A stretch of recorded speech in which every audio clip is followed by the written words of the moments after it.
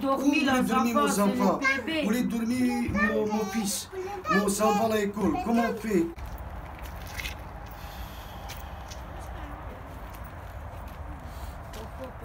Pour demain, le- Il y a une trentaine de personnes, dont une dizaine de mineurs, des enfants, des bébés, du fait des conditions sanitaires et des risques d'accident qui sont élevés, c'est clair, c'est des conditions de vie indignes. Eh la mairie a fait un arrêté euh, d'interdiction d'habiter.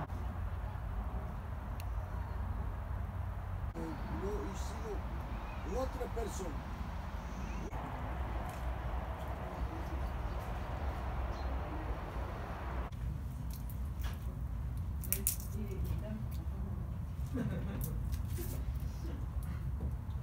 C'est nous qu'on a nettoyé un petit peu ici pour faire un peu propre.